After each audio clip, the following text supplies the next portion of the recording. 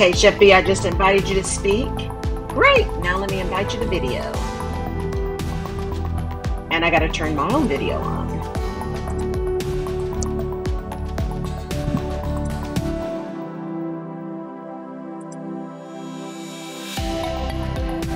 Okay, and you just hear wait bot right now, but I, I want to do one more share and then I'll turn him off.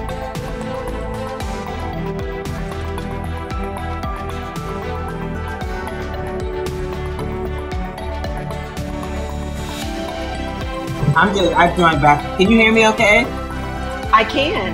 I'm going to turn I just joined on my cell phone because the computer didn't do anything. Oh, that's weird. Okay, yeah, I can hear you just fine. Okay, let me turn off wait bot.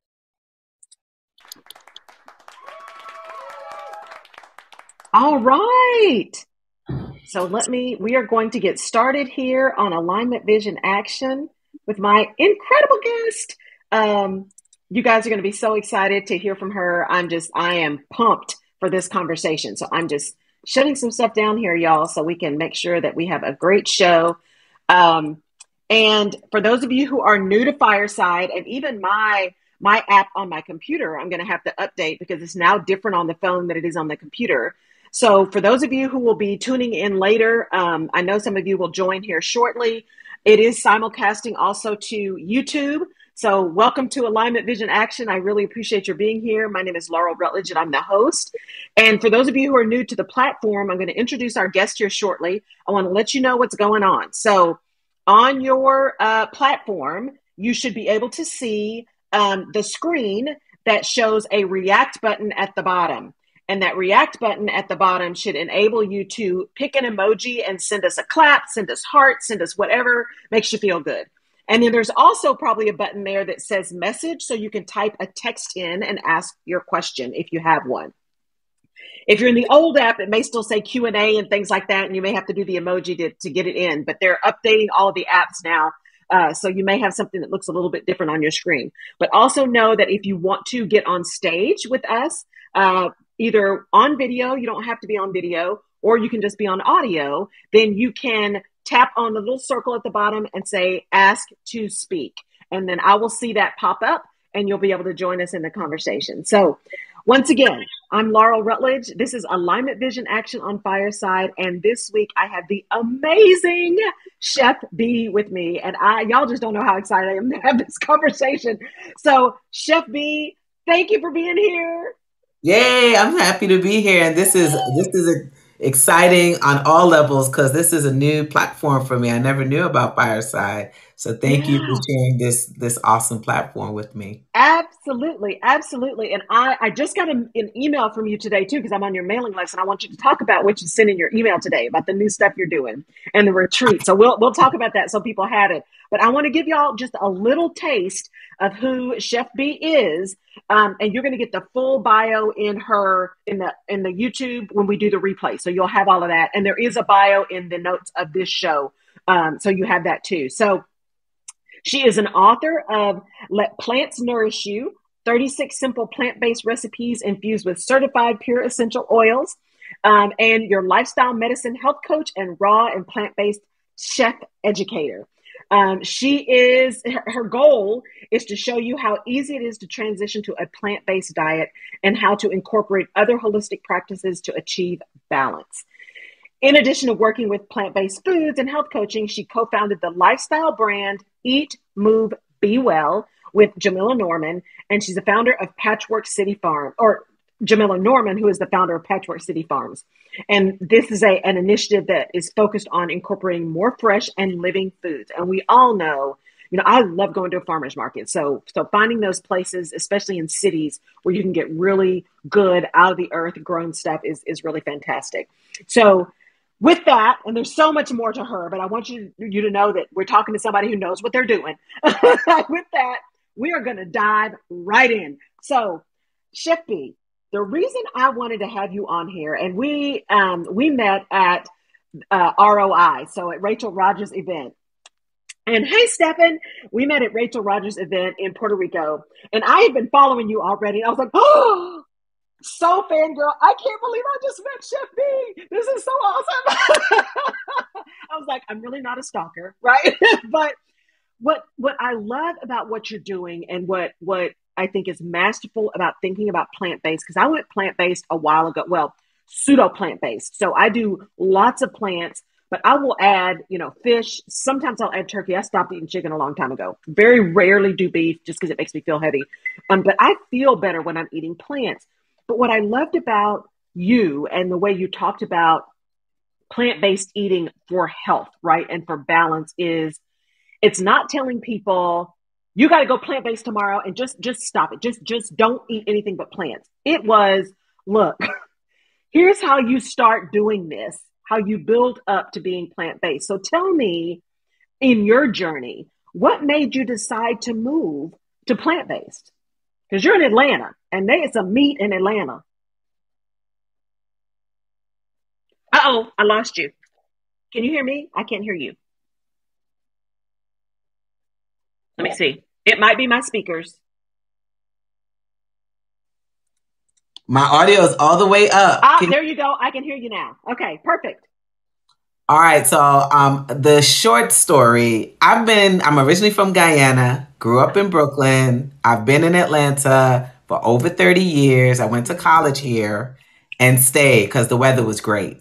Yeah. And literally, like for me, I've been vegetarian mm-hmm. probably for most of my life now because I started when I was in college. That's mm-hmm. 17, 18 years old. And mm-hmm. I'm almost 50, believe it or yeah. not. Right. Yeah. So with that, um, you know, I've just always sort of had this thought around being plant based. We weren't calling it mm-hmm. plant based at that time. We were just yeah. vegetarian. Mm-hmm. But I really didn't know what I was doing. I don't think many of us knew what we were doing and that mm-hmm. we were mm-hmm. really junk food vegetarians at the time because we were eating a lot of french fries. It just didn't have meat. So we right. were still eating bread and fries and starch and those yes. things, but we just eliminated anything that had eyes. Right. And, yeah, exactly. So let's fast forward. So again, I told you I've been here for a long time. Yeah. I've been in Atlanta for a while.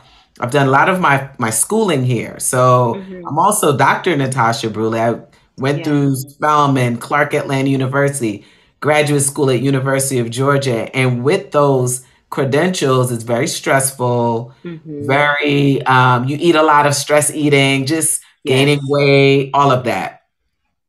And so when I was ready to have my first child, I had gained quite a bit of weight. Again, a lot of stress eating not doing all the things properly because I was in a bad relationship. Mm-hmm. And when I was ready to have the baby, I developed preeclampsia. Oh. And so I had to have a sur- uh, emergency C section. Mm-hmm. Blood pressure was out of control. It was just crazy. And, yeah. you know, it was just, you realize that lifestyle wise, like all of those things were just sort of out of balance, out of whack. Yes. And because they were out of whack, it really showed up when it was time to have the baby, right? Mm-hmm. Um, now, so fast forward, because I had to make huge lifestyle changes, right? Fast forward seven years. I mean, I had done some of the lifestyle things, but new relationship now. I'm 42, mm-hmm. second baby, and they're pushing me in the direction of a cesarean. They're also like, hey, you're older, you're high risk. Yeah. So all of those things, right? And so for me, I'm like, well, they're like, you're gonna have a cesarean. Like that's just what you're gonna have. And I knew that I had to really buckle down. And even though I was eating plant based already, mm-hmm. I had to mm-hmm. really take it seriously to really move the needle in the direction that I wanted wanted it to go. Mm-hmm. And so with that charge, I was like, no, we're not going to, you're not going to decide that this is what's going to happen to me. I'm going right. to decide what's going to happen to me. And I had a friend of mine, doctor, she's one of my best friends, mm-hmm. Who had delivered tons of babies. She's a physician mm-hmm. in DC. And she said to me, she's like, look, they're going to cut you if they have to. Don't let that be the only option, right? Right.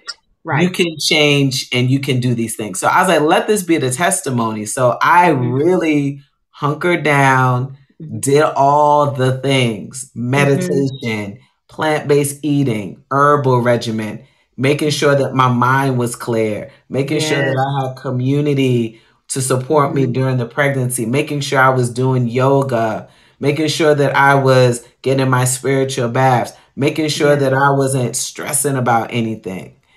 And I'm telling you, that pregnancy was amazing. No C section, mm-hmm. vaginal birth, no blood pressure issues. All and I and I know for sure yeah. it was because of the lifestyle change. I know for sure it was because I was changing up my diet, eating plant based, yes. eating all the things, being really intentional mm-hmm. throughout that period.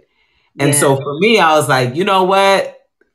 I can help other people get there. Yes. Now, yes. it does not have to be as dramatic as this was. Like that was my right. fuel, right? Mm-hmm. But it doesn't have to be that way. And as a health coach, I realized that not everybody's in the same place. Right. And right. you know, we I really promote bio individuality. And mm-hmm. what that means is one person's food is the other person's poison. What's good for Laurel may not be good for Chef B. What's good for Chef B may be good for Laurel, right? And yes. so we have to really honor people's cultural differences, mm-hmm. their backgrounds in their food choices. Right and not say, oh, everybody needs to be vegan, everybody needs to be this. No, that's not the case. Right.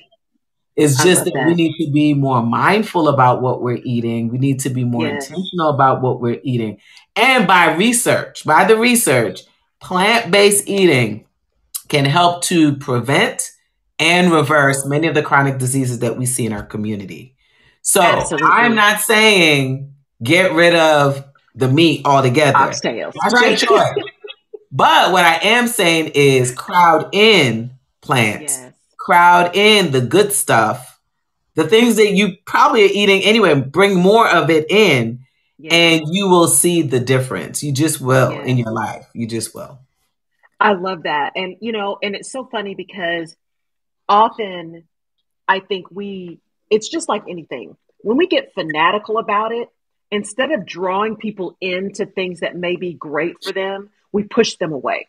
Right. Okay. I always think about, and this is such a bad, it's probably I'm saying it because I went to Ash Wednesday this morning, but it's kind of like new Christians. New Christians will beat you up with the Bible, right? Because they're so excited to be new Christians. But they right. are quoting scripture at you. They are, it's, it's a nightmare. But those folks who've been in, in the game for a while, it's like, you know what? Here's what it says, right? Here's the context. Yeah. You do you, but understand, right? What that means. They, they, yeah. There's an allowance for what things really say. And so when you talk about kind of lifestyle and honoring lifestyle and honoring what works, I know for me, and especially I had on I had on three physicians. Um, Dr. Shayla was one of them, and she was at ROI. Three physicians last week, and we were talking about health and heart health because last month or this month is Heart Health Month. Um, and there's so many health disparities in the black and brown communities, and heart disease is big for us. Mm. Diabetes is big for us. I left corporate with type two, and now it it runs in my family. I mean, somebody somebody had some of everything. I never had heart issues or blood pressure issues, but that was one that was my gift from corporate. Kind of like you said, right? Stress eating, not yeah. exercising, and and more yeah. for me, it truly was the mental and emotional stress more than anything mm-hmm. manifesting in all of that, right? Right. And so when I left and started my journey in entrepreneurship and and really trying to say, you know what? I've already got other issues. You know, I got body dysmorphia issues. I got all these kind of things, right? My first diet was in fifth grade. I, I got the stuff. I got the, the stuff that a lot of us girls go through. But I, I refuse to go out like this. I refuse. Mm-hmm. So we're gonna have to do something. And I don't like to eat anyway, to be honest. I'm not a big, like, I don't enjoy the act of eating. I like food, but I don't enjoy the act of eating. And I thought, you know what? So I can't do volumes. All these people that are like, well, do this diet and you get all this volume. I can't do that. Plant based was like gold for me. Yeah. I felt better. My brain acted better. I didn't feel real full. Um, and and it just seemed like it was something that for me i could still eat the stuff that i grew up with kind of like you said that cultural right honoring the culture. So i could eat my cabbage right? I could eat my black eyed peas. I love beans right? I could do all of that and and not necessarily have to have the meat. And i could throw some fish in there every once in a while because i love fish and that doesn't make me feel as bad. But how, when you talk about people really moving and honoring where they are and making a decision about putting more plants on the plate, right? What are some of the things when you work through your clients to help them think about plant based not as a a fad or just a a thing to say because everybody's doing it right, but truly something they can step into as a mindful, intentional decision? So I, I think, you know, people need to be honest about what feels good, what tastes mm-hmm. good. Mm-hmm. And, you know, when people really start exploring their culture and the foods that they've been introduced to, people start to realize that maybe their parents weren't the best cooks and mm-hmm. that they were mm-hmm. being limited anyway in the way their culture, like their home culture, was set up around food. So, mm-hmm. for example, um, there's a woman that I know, she's a client who was diagnosed and was dealing with breast cancer. Mm-hmm. And so, a lot of the foods that she's now experiencing on her healing journey, she's like, I never ate these things. Like, we never yeah. ate kale. We never ate green beans raw. We never ate right all of the things that, like, from a healing standpoint, mm-hmm. you know, mm-hmm. she's being introduced to now. She had never seen those things in her childhood because it was very much soul food, South, Southern food. Mm-hmm. Very much the same things that you know. Yes. So what it? What they call that? Um, Soul Sunday or Grandmama's House on Sun- oh, Soul yeah, Food yeah, Sunday, or what, whatever they call it, Soul Food Sunday. And so she she has now been talking a lot about giving yourself permission to to get help and to try something new. She is now giving herself that permission to see new things around food and to try new things around food and not coming from a place where oh this is going to be nasty but like maybe you're gonna like it. Maybe it's going to be good for you. Maybe it's going to be healing mm-hmm. to the body. Mm-hmm. And so I do think that culturally, you know, in many cases we limit ourselves in terms of what we eat and what we mm-hmm. allow ourselves to eat. We're like, oh, if mm-hmm. it's not Caribbean, then I'm not, I don't want it. If it's not right. American food, I don't want it. And I'm encouraging people on my platform I'm like, let's just go to the grocery store and pick something up new. Like I recently posted yes. um, something around parsnips. and yes. it went crazy. It went crazy. Yes. People at the gym is like, oh my God, I, I want to try that. And they're like, well, where can I find that? I'm like, at Kroger, at Publix, right. at the farmer's market. Parsnips? Like, are you kidding me? It's right basic stuff. It's not anything yeah. like rocket science. So you start realizing that people are very limited in what they mm-hmm. eat.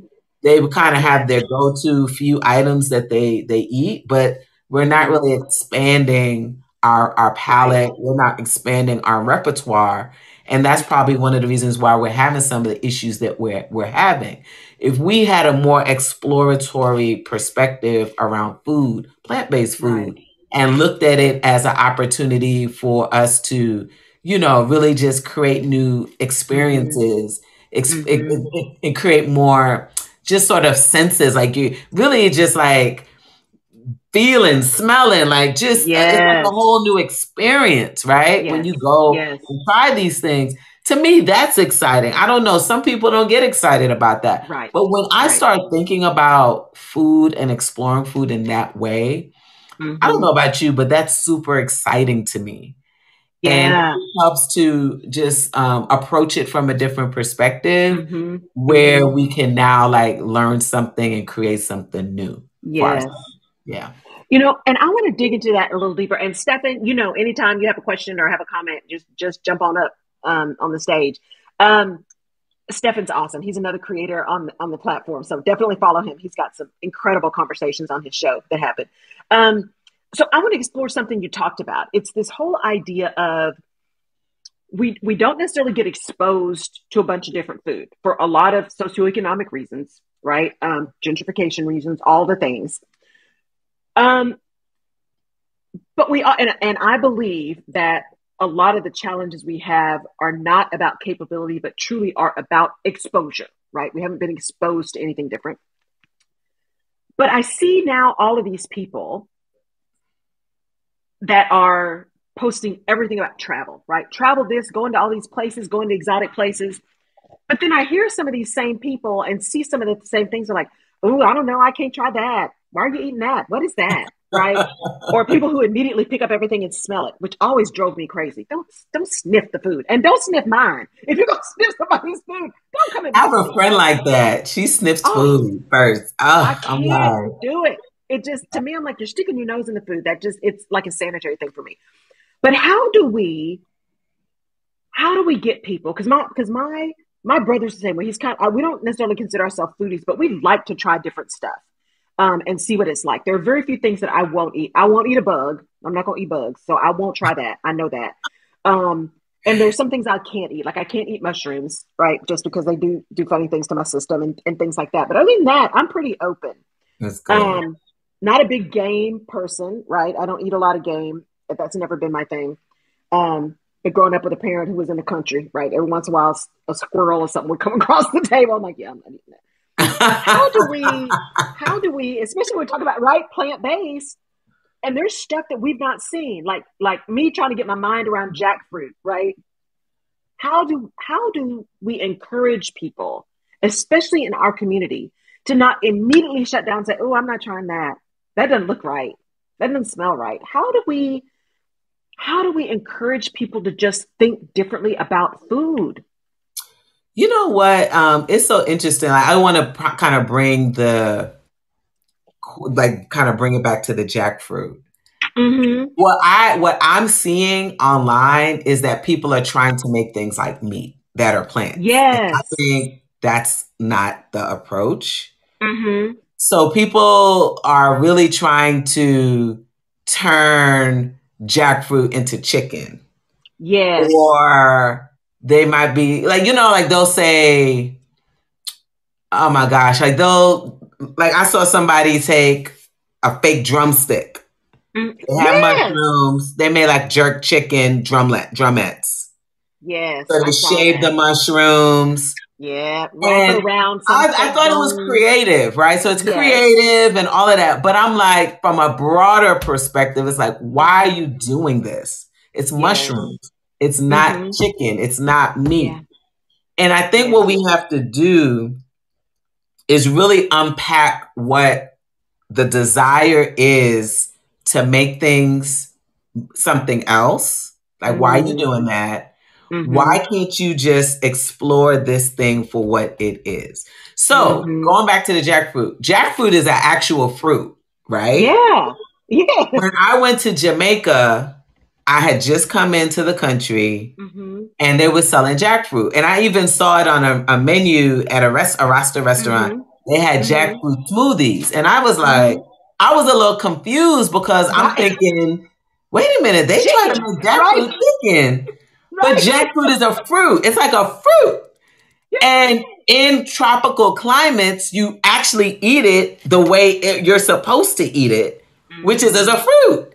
Yeah. And Laurel, when I tell awesome? you one of the most amazing when it's ripened and it yeah. doesn't come naturally, it tastes almost like a cross between a mango, a pineapple, Ooh. um, uh, what is it? Mango, pineapple, and it's like one other thing, maybe like a pear or something. Oh, it wow. is amazing.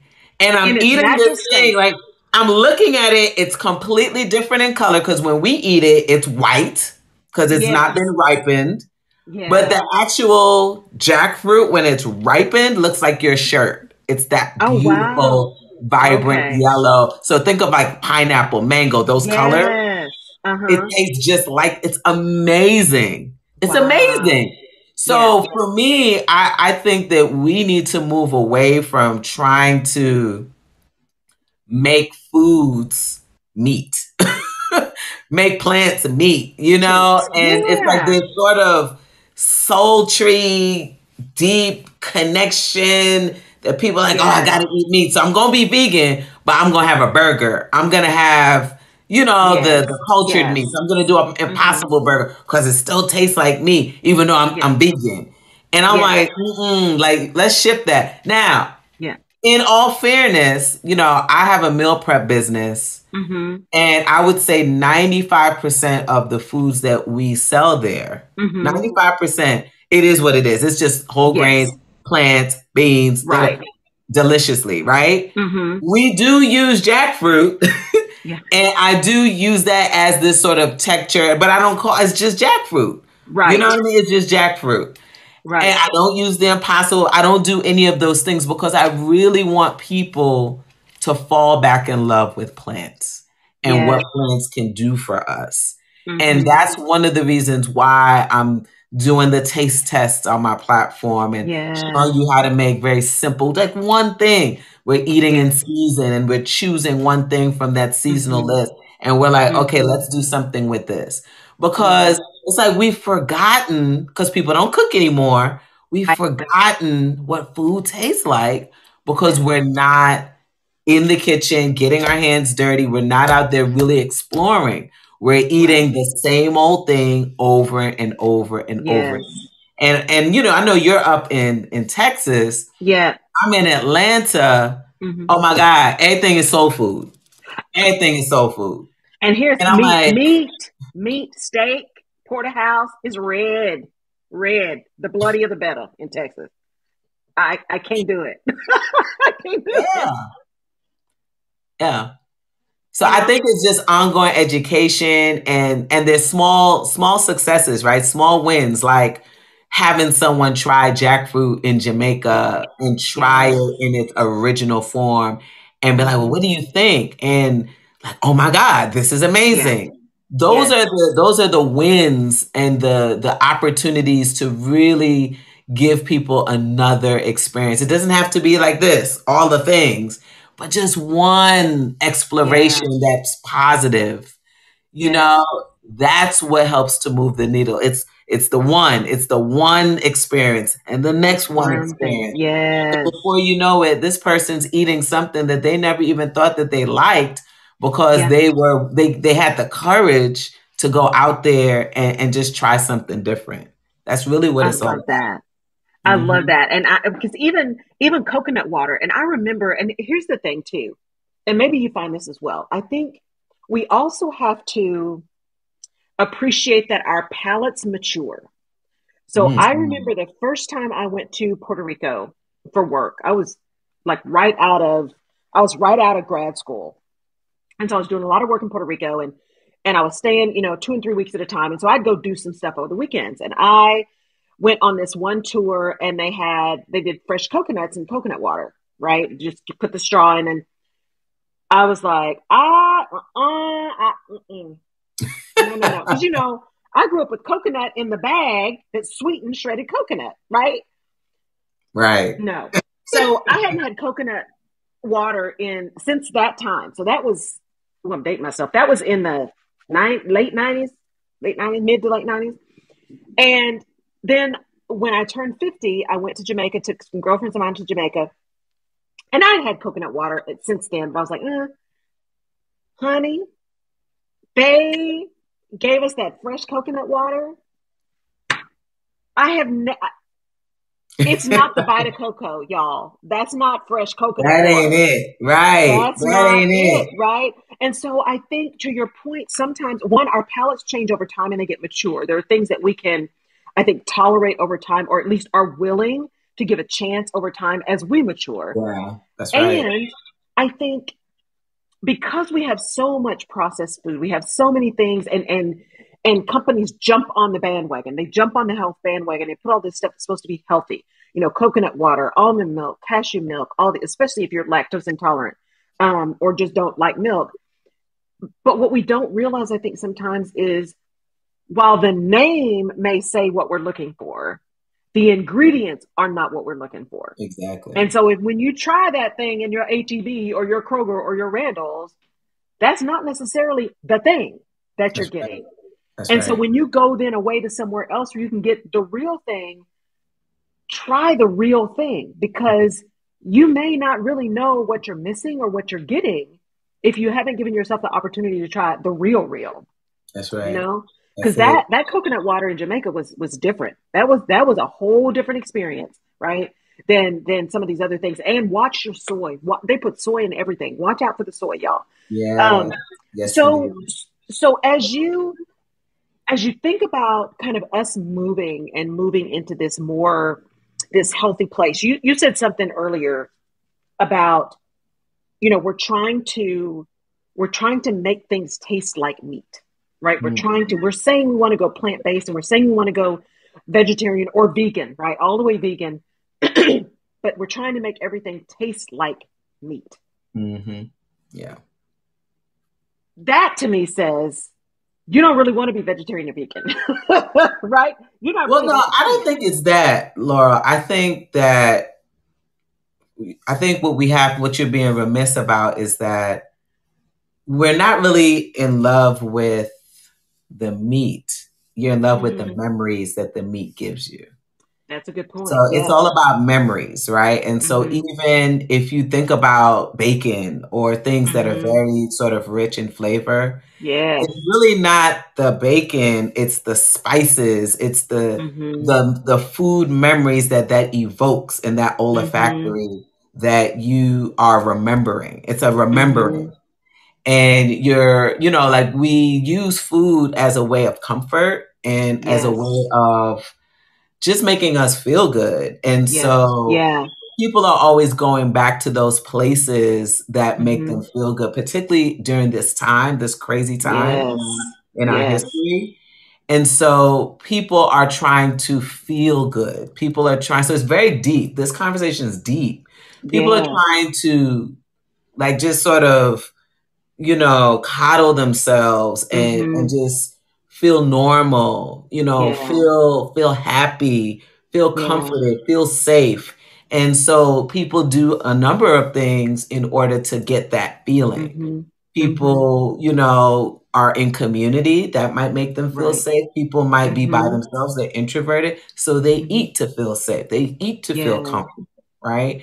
And so I think that I think that people at, on a deep emotional level are just trying to go back to places where they remember good feelings, good yeah. times, and there's certain foods that help to evoke that emotion mm-hmm. for them. Mm-hmm. And you know, but what I'm I'm pushing the needle to say is you're really not wanting the meat per se. Mm-hmm. It's the mm-hmm. flavors and the spices yes. and those things that are usually connected to certain kinds of meat that mm-hmm. you want. And so yeah. that's what people are kind of playing around with with the plant based. They're putting the jerk spices on the mushrooms. They're putting the smoky yeah. spices on the mushrooms. They're trying to play mm-hmm. with textures. So that that's really so it's this like deeper yeah. thing that's happening in your body that mm-hmm. you have to reconcile with like why are you mm-hmm. choosing that what's really going on for you. I don't need that anymore. Like I realized after being away from from meat for a very long time that it has an aftertaste that I'm not really crazy about. Like once you start eating cleaner, mm-hmm. there's certain things that you forget, but that you know that you used to probably deal with, but you right. don't deal with it anymore because you're eating cleaner. And then when you just kind of do a test, let me see if I like this again. You just try yeah. something. You're mm-hmm. like, ooh, fish actually has this rank smell, this aftertaste. Mm-hmm. Uh, I don't really like that. I don't really yeah. want anymore. Mm-hmm. And so you're right to your point about your palate changing. Like you just yes. your body craves different things, your mm-hmm. palate craves different things. And it's about you honoring that thing and really like listening to what your body is telling you that it needs or no longer needs. Mm-hmm. And that's the other piece of this. You know, I always say that eating is like a, a bad boyfriend. Like the, the foods you choose mm-hmm. is like a bad boyfriend. So here's where I'm going with that. Yeah. Sometimes when we're in relationships with our our significant other, mm-hmm. you know, they might be doing something to you that you don't like, that's right. not serving you well. Uh-huh. But you still go back anyway. Yep. You over and over and over. Just this time, just this time, and then I'm gonna move on. Yeah. And you still go back anyway. And I think if you yeah. parallel that with the choices people make around their food, mm-hmm. Mm-hmm. we're doing that dance too. Like you know, you know how you feel after you eat right. mushrooms. But if you decide to eat mushrooms, it's like, okay, what's going on here? What's yes. really going on here? Yeah. And so it does take time for people to really step out of this thing that they're doing yeah. and choose something yeah. else. So it's it's a very complex yeah. um, thing, you know, a very complex dance that we're mm-hmm. playing with ourselves when it comes to our food choices. And that's one of the reasons why, from a chronic disease standpoint, mm-hmm. you know, we have folks who have diabetes, high blood pressure, high cholesterol, because you're like, one more time. I'll just have this one more time and then I'll stop, right? It's, and some people, I'll be honest with you, there's some people who they don't care. They're just like, they don't Life's say that out loud. They don't say that out loud. But they're just like, you know what? There's no saving me. I'm going to just enjoy my life and do my thing. Yes. And they've chosen that. Mm-hmm. You know? Mm-hmm. So it's a very, I'm learning through my work mm-hmm. that, you know, it's a it's very deep and particularly yeah. with women, black women mm-hmm. who are professionals you know, I'm a, a professional. Yes. The classroom recently mm-hmm. to pursue this work, you know, mm-hmm. in health and wellness, coaching, helping to give people good, clean food. Mm-hmm. What I'm realizing, you you can probably attest to this, yeah. being in corporate America, being in higher ed, super stressful. Yeah. And there's a lot of stress eating. There's a lot of us doing things that is not showing up yeah. as self care because we're climbing the ladder of success, right. right? Right. And so that's when these things start creeping in. So you said you got a gift of diabetes, type 2 diabetes yes. from corporate America. Mm-hmm. I got the gift of hypertension mm-hmm. from being in graduate school, climbing the yeah. ladder. So we, we just have to have yes. those real conversations with ourselves. And I also believe that we really need to be in community spaces mm-hmm. where we can really unpack yes some of our challenges mm-hmm. so that we can you know be better and really start right. wrestling with some of the struggles that we're having you can't do it by yourself because you'll just no. continue perpetuating the same old same old it's right. being in safe spaces where we can really unpack and really kind of pull apart mm-hmm. like what's really happening with me right. and why am i choosing this for myself where the needle begins to start moving a bit yeah. Well, and I think you know, the, the, I call the show alignment, vision, action for a reason, right? It is, and and all of the work I do with clients, it re- everything kind of falls into those those three buckets, right? It is alignment with who you are and where you are, you know, that clarifying that vision of what you want, and then really moving into that action by understanding what it's going to take to get there and what you're willing to do to get there, right? Yes. And so part of underlying everything that you're saying is you got to know you, right? You got to know you. And and so I know for me, like I don't eat chicken anymore. Very rarely do I eat chicken. And I remember my mom saying, "What what what have you got against chicken?" Right? I'm like, you know what? I honestly don't have anything against chicken, but I just chicken myself out to be honest, right? Because especially, uh, yeah. uh, you know, when you're of a certain age and you've been through the the Weight Watchers and the Jenny Craigs and the this and the that and the, all the things. Chicken is like the meat to end all meats. That's the meat you can do, right? Mm-hmm. That's the one and I felt like I was growing feathers. I just couldn't, I can't do any more chicken. Right? I just the thought and the smell of it just makes my stomach turn, right? But it's not about some big, I don't do chicken, right? and I don't want anybody around me to eat chicken. I don't care if you eat chicken. But what I know about me, and because I'm, I am, I've done the work, I've done the hard work and continue to do the hard work. I've had a therapist for 12, 13 years now. I've continued to do the hard work is that whole idea of at least for me and i think you're you're you hit it right on the head. We have to know for ourselves what we need. For me i cannot think about food and diet and weight and all of those kind of things in numbers. I cannot. I cannot count calories. I can't i can't do those things because i have it becomes obsessive for me. I'm like okay well it's been two hours and 59 minutes and i got to eat it three hours. If i don't eat it three hours that's a problem right? I mean it, it becomes an obsession and so I know for me, turning around the idea to say food, not so, not the, the extreme that food is fuel. That's the only reason you do food. Food is just fuel. I'm, I'm not that in either. But food is there for me to be able to nourish so that I can do the other things I want to do in the way I want to show up in this world.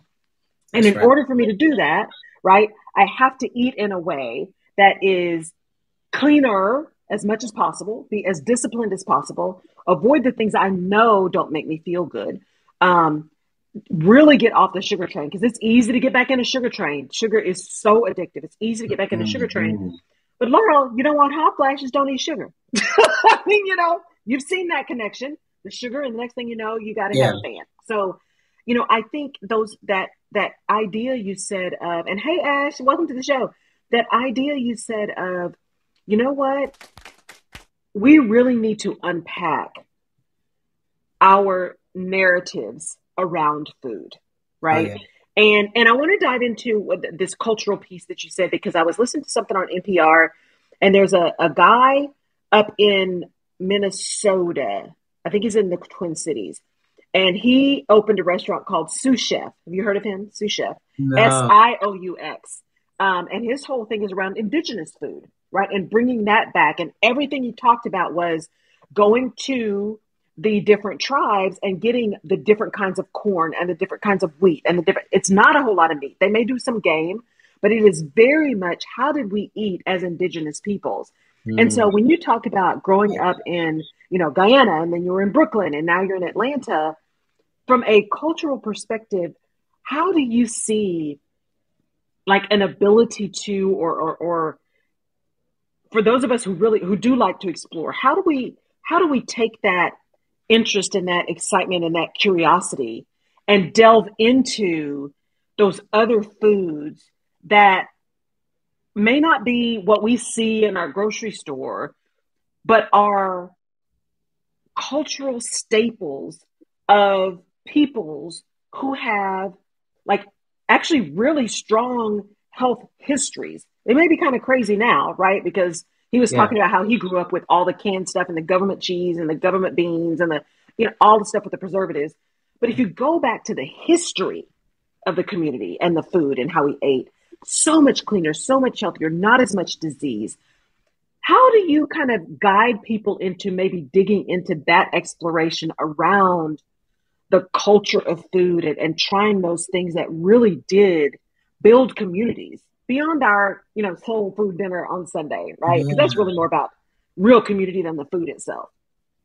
Well, I, I think it's just what you're saying. Like, I think if you if you say to yourself that I am a person of the world, I'm a citizen of the world, and my goal is to really as as much as I can because I'm like it's a gift to be able to go to these different places and yeah. really see how other people are living.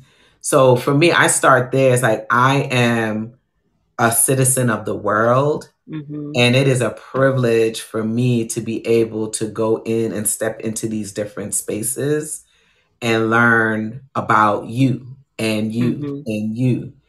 And along the way, I'm going to, you know, show you something that you like. So for me, it's like this, it's like a conversation that I'm having yes. with my nana, my grandmother, my mother. Mm-hmm. We always got together on Sundays and they cooking and yo, when you cooking? Man, I making this, I making that. And they talking, they as we say, mm-hmm. gaffing, right. and they're sharing, and you know, I'm always looking to see the connections to that when yeah. I travel to see, mm-hmm. okay, everybody got a soup. How how is their soup different than our soup? Yes. Everybody got everybody got like a tortilla or some kind of like, you know, something right. quick that you got that you got wrapped with vegetables or whatever with flour around it. Mm-hmm. How is that connected to what I've eaten or what my mother used to make? Because the reason why I do that is to show, gosh, we're not that much different. Right. It's not. Right. You know, we're we're really connected intrinsically. Like one of the things I learned, I you know, when you think of pasta, mm-hmm. pasta is usually thought of as a very European mm-hmm. concept, like food. Mm-hmm. Right? The the rigatonis, the the but it's actually yes. very much an Asian cuisine. Yes. Yes. So when you see the folks doing the ramens and they're doing the noodles with their hands, their hand pulling it, it's a yes. skill, it's an artistry. that they mm-hmm. learn over many, many, many, many years. Like to me, to be able to to be able to peek into a culture and see that, and then make the the connections, to me is a is food anthropology for me. Yeah. Right. Yes. And so I personally think that you know if you can start connecting things that way, then it just broadens the cultural conversation around food and how you think about it because now you're stepping into culture. You're stepping into a space where it could be something very close to what mm-hmm. you're used to. I learned like um I don't I mean they just call it something different. In Guyana, we make soup. In mm-hmm. Jamaica, they make soup too. But when they put coconut milk in their soup, they call it sip. That was fascinating to me. I didn't know that. And I'm of Caribbean descent, right? And it's just I'm like, oh, man, we, we do soup too. We we don't call it sip, but it's the same thing, man. It's the same thing. And I just love that. So yeah. I think that for those of you out there who are traveling, exploring the world, you really explore the world first through the culinary space the culinary space informs so much of what you see in different cultures mm-hmm. and vice versa. And so they're, they're not separate. So it's wonderful that you're traveling. It's wonderful that you're going out here and seeing people live and be in different ways, but you cannot separate that from their food. Right. You learn so much about them from the food. Yes. You know? So I just, there's, you know, a, I, I just hope that helps someone. Yes. There's a quote, and I, I'm going to get it wrong, but the gist of the quote is essentially if you're going to reject the culture, reject the food, reject the language, why are you going? Right? When you travel, well, stay home, right? If you're gonna, if you're going to only go to McDonald's when you go to Paris, why'd you go to Paris? Right? Just thank you. Stop. You know, you. I there, there's something that you said too that I you know, that I was resonating with. Um, hi, Arlene. Thank you for joining the show. I um, I remember when we went to Belize and they had Johnny cakes, and it was this, little, I mean, hole in the wall. It was maybe six feet wide, straight back. And we were, and, and the guy who was doing the tour for us said, Hey, let's do, you know, we're going to get you some breakfast. You can go in here and get some Johnny cakes. And literally, there there was like you walked in, there was a little counter, and then there was her microwave and kitchen, and and it was like it was almost what you would consider one of those hot pocket kind of things, right? But that's mm-hmm. what they mm-hmm. called Johnny cakes, and it was filled with beans or meat or something like that. Yeah. Best thing I'd ever had in my life, right? And yeah. then we go do our tour, and he takes us to another place. It's like a family up in the trees in the hills of Belize, right? And, and we had callaloo, and I'd never had callaloo. I have been trying to find callaloo greens since 2018. It was the best stuff we'd ever had. And they literally just set up pots on this little yeah. veranda and you just walked down and got, you know, got what you wanted. And they had this sauce that was just vinegar and uh, and a pepper, kind of like our Louisiana pepper sauce where they have the Tabasco mm. with the mm. vinegar, but there was a different kind of pepper. That's it. That was the only kind of sauce they had or seasoning they had on there. It was so incredible. And I thought, you know, and, and, and when, when we were at our little island and they were cooking a dinner for us, he did, I'd asked him to do a, um, a bread pudding. I love bread pudding. I asked him to do a bread pudding. Sure, we can do bread pudding. And I said, it doesn't matter what kind, just, just a bread pudding. He did a plantain bread pudding. Mm. you know what? Now see, and that's what I said. I don't I don't enjoy like the act of eating, but I do like good food. I have never. Sound like you're a little bit of a foodie, Laurel. You you a little I, foodie I training, honey. I am. I love the different textures and the different feel. And and the one fruit that you did that I've never bought, the one that's spiny, and you opened it up. You did a, a taste test on that one too. When you open it up, oh, the Rambutan, Rambutan. Yes, yes. So my brother will buy that kind of stuff and kind of try it. And, you know, I, I do have texture issues because I can eat I can eat guacamole, but don't slice up an avocado. It's got to be mashed up. I can't. I can't chew slices of avocado. I know it's weird. Right. What can I say? It's just it's a texture thing, right? Mash it up. I get, some, I get it. You know, put some salsa in it. I'm good to go. But give me a slice. I feel like I'm eating Crisco. I can't do it. So you know, when I, when I think about these experiences, right, and what it means and how it connects us to people, and how it connects us to our own health, right, and the work that you're doing. Yeah what is and, and, and I want people to, to get this too because you said you said something earlier about find one thing. Here's the thing that's seasonal, right? Find the one thing. Go try this. Go do one thing with this. Don't go tomorrow and buy 14 plant-based cookbooks and go buy all the things and try stop, right? That's a, a, a way to set yourself up for failure.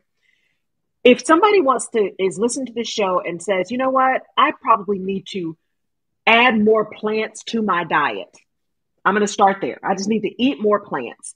Yeah in this season where we are right now in the spring, and I got to start my garden here next weekend. Um, what is one thing, maybe one vegetable and one fruit that you would say, go try this? Go try this right now. One vegetable and one fruit mm-hmm. That someone may not have tried before. Right. Maybe not have tried before. And even if they have and didn't like it, to try it again. Mm, I would say mangoes. Okay. Oh, I love a mango. And one and one of the reasons why I say mango because mangoes are really beautiful and they have different kinds of textures Yeah. depending on where they're from. Mm-hmm. So, like in the Caribbean, they're they're kind of like stringy, but when yes. Go to like Cuba and Africa, they're mm-hmm. more like robust. They're bigger, mm-hmm. they're mm-hmm. juicier, and it's almost like a cleaner meat. Like it's just it's not as stringy. Yes. Mm-hmm. So for me, what I would say to someone is, I want you to try that mango and I want you to close your eyes, slow down, and I want you to try that mango. I want you to yeah. smell it. I want you to take the the pieces of whatever it is that you bite into and I want you to circulate it through your tongue and let it bounce off of the inner parts of your cheek and I want you to just slow down and enjoy that bite of that mango. Because yeah. the other piece of this is people are not eating slowly, intentionally, no, mindfully. They're not. For them to really enjoy their food. Mm-hmm. You're going to have mm-hmm. a whole different experience if you slow down and a full sensory experience. Yes. If you slow down and really do some of the things we're talking about. So that is one. That's um yeah. a mango. A mango is yeah. epic. Yeah. Ash um, said, good call on the mango. um, I would also say from a vegetable standpoint, arugula. Arugula. Ah, very peppery. Very peppery. And, you know, I, I think that greens can be considered boring. Yeah. Um, but I think there's something special about arugula. Mm-hmm. I love that mm-hmm. pepperiness. I love it's delicate, but it's tough mm-hmm. at the mm-hmm. same time. Yeah. It goes well, pairs well with pasta dishes. It pairs well by itself with maybe a slice of mango or some yes. fresh fruit with a drizzle of balsamic vinegar. It's a mm-hmm. very versatile green. Yeah. Yeah. And I mean, I, and I, again, slow it down, oh. chew on it, take the fragrance of the arugula in through the nose, in through the senses, mm-hmm. and just see, you know, just have a whole yeah. different experience with it. You know, yeah. So those are two things that I absolutely Ooh. love. Those are two of my favorite things. Yeah, and you're right with arugula. Arugula is good. I, I, when you said it, I was like, "Ooh," with a little bit of like goat cheese, you know, cranberries or apples, like a Granny Smith mm, apple. It, there's mm. something about arugula when you mix a sweet and a and a, and a, tangy, like the vinaigrette with the fruit with arugula. There's something about that mixture that's just really great uh, for the palate. I don't know what it is, but it's just awesome. Yeah, you know, and I have to laugh. right? excited. I have to laugh when you say arugula because my mom. Now my mom is eh, she'll be 82 this year, and we give her a, a, a hard time all the time because she's like, if I want a salad, like she, her big thing, she now eats romaine.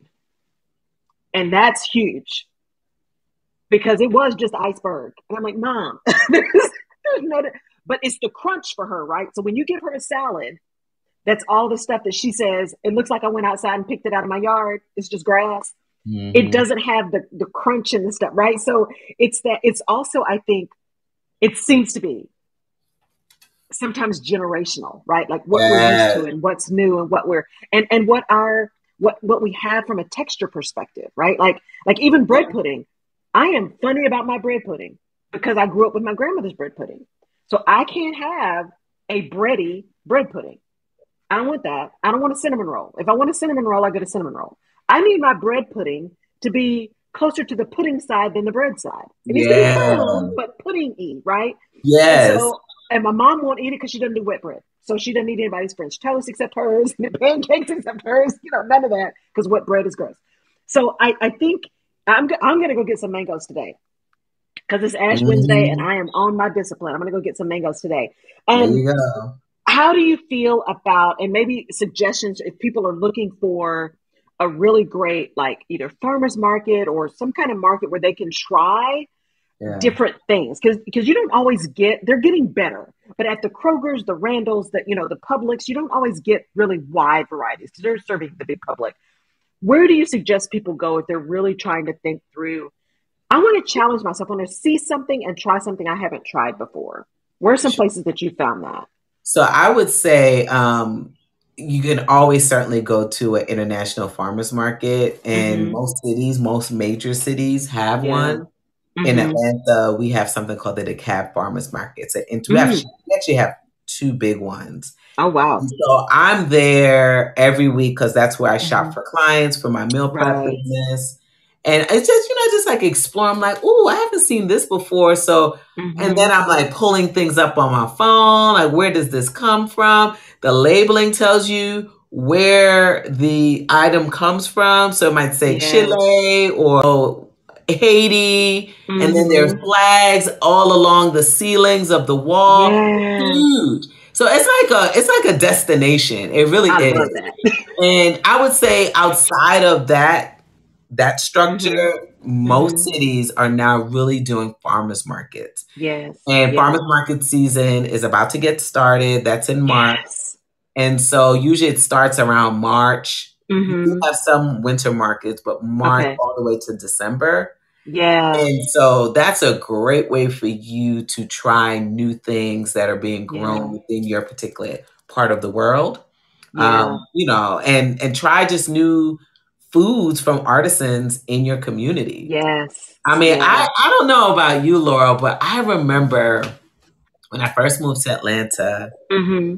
I would go to the health food store. And when I first got wind of these farmers markets, I just felt good Yes. Meandering on a yes. Saturday morning with, you know, my friends. And then when mm-hmm. I had my mm-hmm. first child, taking him on a Saturday morning. And, you know, market is only a few mm-hmm. hours. And you're like, well, what are we going to get today? And what can yes. we? It just was this great feeling that I was doing mm-hmm. something for myself mm-hmm. and something for my baby, you know? Yes. And I don't know. I just being in those kinds of spaces makes me feel good. It makes me feel like I'm just taking care of our we're taking care of ourselves. Yes. And so I just try I chase that feeling. And mm-hmm. you know, that's why I really stay connected to markets.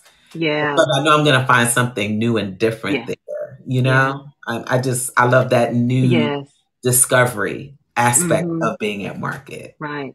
Well, and I think you t- touched on something that you said very early on in the conversation. And, and everyone, welcome to the show. We're we're going to be ending here shortly, um, but please go back and watch the replay and listen to to Chef BEEE. Um, and she's in Atlanta, and I'm going to have her tell you about her her things, her adventure that's coming up here shortly. Um, but I think to connect, just to, to to connect back to what you said earlier about kind of the feeling, right? Knowing when we start thinking about plant based it's not not just some fad, not you know, not the pressure, all the junk around it. It's really about how do you get really good stuff and really good nutrients into your body? How do you pay attention to how you feel when you eat and the things you eat, right? And giving things a chance. And you talked about this the feeling in farmers markets. And I, I feel the same way when you go and you walk and, and the lettuce I've gotten from a farmer's market lasts a lot longer, tastes a lot better, right? Yeah. The the things that I've had there, the the sauces that people have made there, it's just it's incredible to do that. And you are helping small farmers, right? We we have a um, I think it's called Plant It Forward. I don't think it's just in Texas. I think it may be um, regional. uh, but it's called Plant It Forward, and they actually work with farmers in cities, and they bring their stuff to farmers markets. And so it's all about helping these these regional farmers.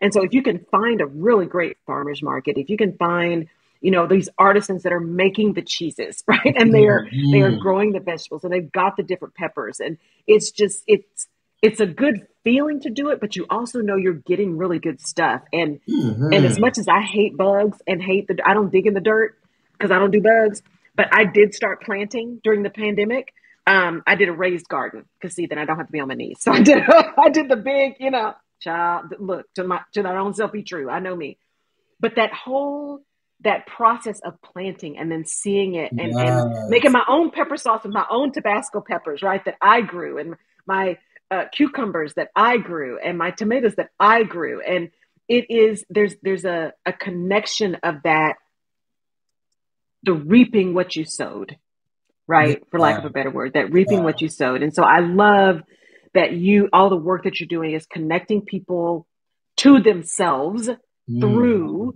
this journey to plant based, right? And being more plant based and giving food a chance, right? Giving food a chance. and better chance. health, right? Better health, yes. um, connecting communities. You yes. know, like there's there's no doubt that when you're harvesting foods that you've planted, mm-hmm. it's it is like one of the most exhilarating feelings and yes. it's connected to the hard work that you put in mm-hmm. and mm-hmm. being able to reap the benefits of all these things that you are are sowing seeds for yes you yes. know so that translates in so many parts of our lives not just in our work life but mm-hmm. also in our food life too right so right. it's a pride that you that you have when you know that you planted that seed and mm-hmm. it becomes something else. You're like, yeah. it's like a baby. You're like, oh my God, I it did that. And it's like we have to get back there. We've forgotten mm-hmm. how magical and powerful we are. Mm-hmm. And that we are able to do magnificent things like that. Yes. You know, and so I think people are definitely coming into their magic and majesty, mm-hmm. and mm-hmm. they're trying to find that again. They're trying to yes. find those moments where they can create from scratch something that will become something else, you know? Yes. So I, I think I think that people are discovering and they're remembering and mm-hmm. you know, I always said this. You know, um in our families, in our families, our ancestors speak through mm-hmm. us. Mm-hmm. And then the next generation and the next generation. Mm-hmm. And in their speaking, there's someone who's going to answer the call. They they hear. They're like, "Oh my right. god." I'm, and they hear by doing this thing that is completely different than what the mm-hmm. family expects them to do. You right. know, I have um I I know for a fact, I, will speak about myself. Mm-hmm. I have healers in our lineage, right? Mm-hmm. They weren't necessarily doctors. But, right. But my grandmother, people would call her to read her their dreams. Mm-hmm. They would call her like she would throw together these elixirs and stuff like that. Yeah. You know, she mm-hmm. if you wanted to know how to heal something, a tummy ache or this or that, right. they would call her. Right mm-hmm. mm-hmm. now, there are siblings, there you know children, her children who were not brought up together mm-hmm. but then had children. Right. my line. Right. And some of those folks are now health coaches. Some of those folks are nurses. Mm-hmm. There was a call to yeah. do that work, you know? Mm-hmm. And either you're going to listen to it or you're not going to listen to it. But I feel like more and more of us are being called to heal our, our lineage, our legacy. I love and it. we're doing that in different ways. For me, it's through the food, it's through coaching, it's through those things. For other people like yourself, it's through having your show. And, you know, for others, it's a hairstylist because people are talking to them, sharing their feelings, mm-hmm. unpacking things with folks, right? So yeah. we're being called, and it's up to us to listen to the things that we are called to do. And for me, that's one of the reasons why I decided to you know, move on out of being in the classroom to do this Yes. work because the call was so strong. I was like, I have to honor this call because I know this is where I need to be.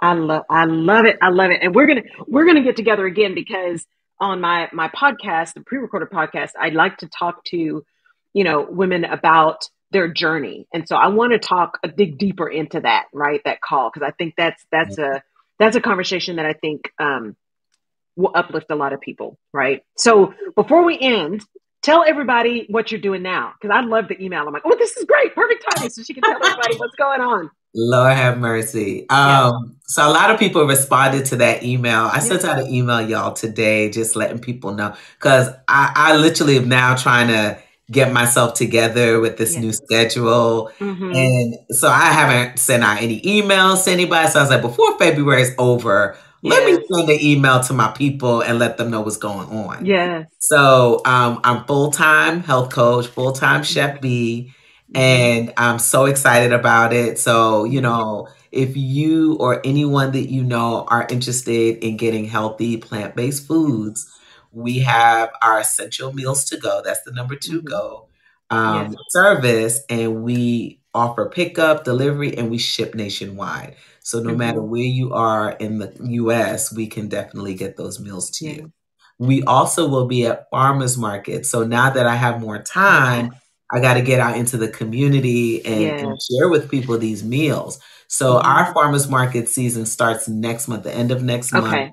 So Yes. I was just invited to one of them um, here in Atlanta. So people will be able to experience our snack boxes. We have healthy snack boxes, our prepared meals, soups, drinks. We have seasonal drinks, all of the things. Um, and then the other big piece is we're heading to Jamaica. So we launched our retreats last Mhm. year, um, the Palate Reset, which is a cleanse experience. And for those people who just need to get out of their environment, they Mhm. can leave and come with me to Jamaica. We do a beautiful, beautiful tour and experience with our guests just to help them to reclaim and reconnect back to themselves through exploring Jamaica, the food, the culture, the everything. And so that um, retreat will happen in May and June. So we have two Yeah. days. So if folks want to connect with me, I'm on Instagram. I am Chef BEEE with three E's, and those B's stand for be empowered, energized, and engaged. So I am Mhm. Chef BEEE are the platform handles for YouTube, Instagram, Mhm. Twitter, you name it. And then if you want to check out what we do, you can always go over to chefbeee.com with three E's and Mhm. everything's there the meal prep, all of the different offerings that we have. I love it. I love it. Yeah, y'all really check her out. Definitely follow um, the YouTube channel. Uh, go check out her prepared meals. I actually sent, a, a, and you can do gift cards too, because I sent a gift card to my gift brother's birthday, so he could he could order. Yeah, so he could order some meals because um, she does ship ship nationwide. Um, so yeah, I I am just so grateful that you decided to to say yes and spend some time with me um, here on Alignment Vision Action. For those of you who joined the audience, thank you so much for being here. I am Laurel Rutledge, the host of Alignment Vision Action, where we talk about all the things, right, that are getting you where you want to be, who you are, where you are, what you want, and what it takes to get there. And by doing that, you get aligned, you get your vision clear, and then you move into empowered action. And so I want to thank Chef BEEE for being here with me today. Um, I really appreciate it. And and Fireside is going to be on twice a month, most likely. So so stay tuned. If you're not following me, please follow me here on Fireside. I'll be posting the shows. Um, looking at some really cool people coming up for Women's History Month. So the show will be twice a month instead of um, every week uh, this year for 2023. And uh, I'd love to hear from you. Join the audience, pass it along. I'm going to do the replays. I'll put those out. It'll probably be up tomorrow, so you can have uh, a chance to see everything that that Chef BEEE said. Thank you, thank you, thank you for being here. I really appreciate it. Beautiful. Yeah, and have Thank a you. great rest of your week, and we will.